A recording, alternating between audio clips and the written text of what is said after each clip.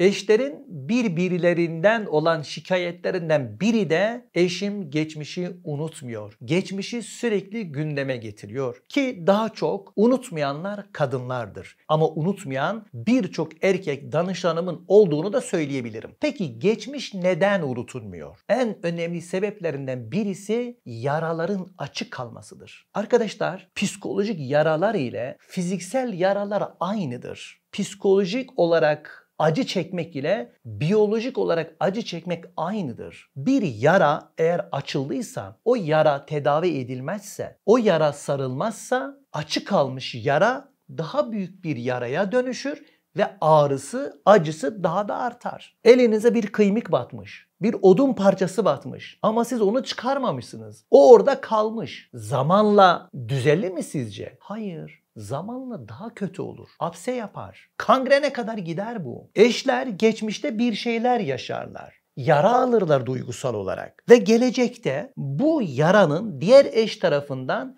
bir şekilde sarılması lazım. Bu konunun konuşulması lazım. Diğer eşin de evet ben seni anlıyorum. Ya özür dileyeceksiniz, ya pişmanlığınızı dile getireceksiniz, ya eşinizin haklı olduğunu ifade edeceksiniz. Böyle bir şey yapılmaması gerektiğini dile getireceksiniz. Durumu düzeltmeye çalışacaksınız. Siz durumu düzeltmezseniz bu açık yara daha ağırlaşır hayatınızın sonuna kadar devam eder. İnanın 80 yaşına gelseniz dahi o konu yine gündeme gelecektir. Bir danışanım anlattı bana. Hanımefendi, hocam babam sekeratta can çekişiyordu. Annem onun başında durmuş ve şunları söylüyordu. Oh ne güzel. Bana yaptıklarım bir bir boğazından çıkacak diyordu. Bakın sekeratta bile unutulmuyor. Bunun çözümü yaraları kapatmaktır arkadaşlar. Bir bilgisayarda dosyalar açık kalırsa bilgisayar yavaş işler. Ve geçmişi unutamayan, geçmiş yaraları taze ve canlı ve açık kalan eşler genelde unutkan olur.